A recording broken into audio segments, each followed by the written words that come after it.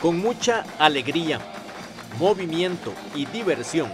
Así arrancó la final regional de Athletic Kids 2024 en Pérez Celedón, que se realizó este martes 10 de septiembre en el Polideportivo de San Isidro del General.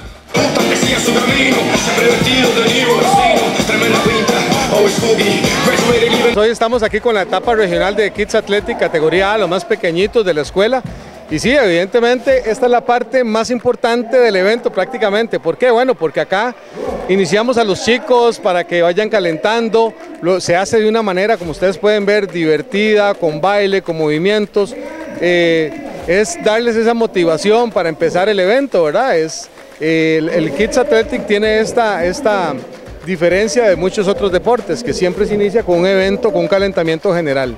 Y bueno, tenemos, eh, gracias a Dios, tenemos eh, talento de, los compañeros profesores de educación física que siempre, Mario y otros compañeros que siempre se encargan de esta parte, que tienen el talento ¿verdad?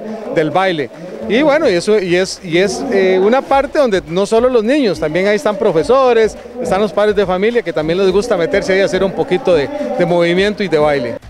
Todos los circuitos de la regional del MEP en Pérez Celedón estuvieron en competencia. Hoy tenemos 10 instituciones porque es la, cada institución de las que está acá es la campeona de su circuito.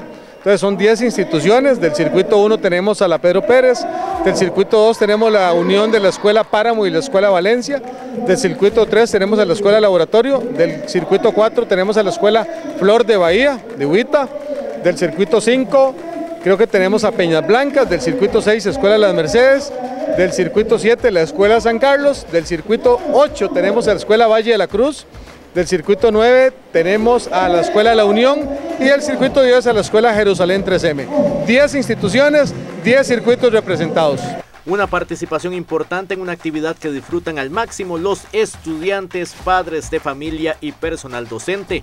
Cada equipo está conformado por 12 estudiantes, estamos hablando de 120 chicos. Así fue la final de Athletic Kids en nuestro cantón.